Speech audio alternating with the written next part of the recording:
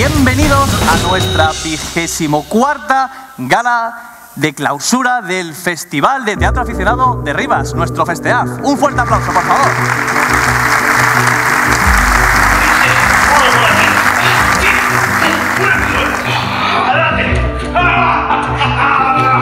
¿Podéis callar un, un instante? Un, un- un instante nada más. Em, papá, papá, por favor, que quiero deciros algo importante, ¿vale? acontecimiento del cual no entiendo la urgencia. De verdad que me estaré esperando unos amigos que llego tarde. ¿Alguien tiene un reloj? Aquí, señor, un reloj.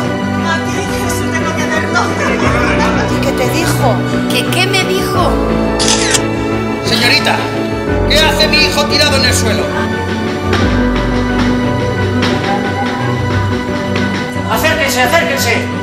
Vengan, damas y caballeros. Vengan al rincón del poeta.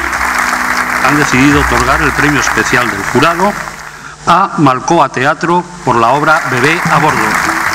Muchas gracias a la organización, a Rivas, por este premio y nada, quiero dedicárselo en especial a, a Carmen y a Ania, que para mí bebé a bordo son ellas dos.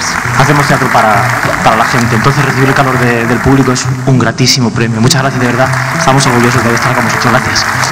Muchas gracias a todos, al público, a la organización. Blanca por estrella en los 30 de Joviana Teatro.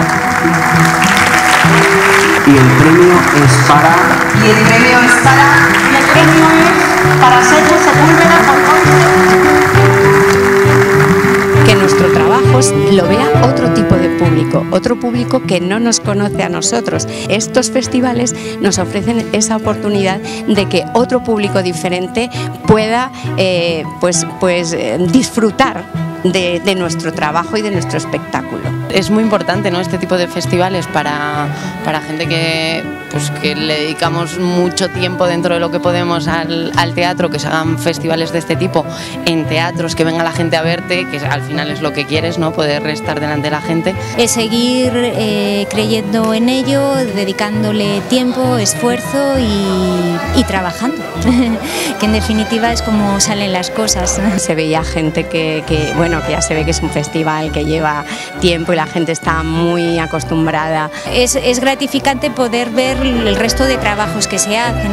Eh, me parece maravilloso este tipo de iniciativas y que lleve 20 24 años, o sea, es espectacular. Y larga vida al Festeap.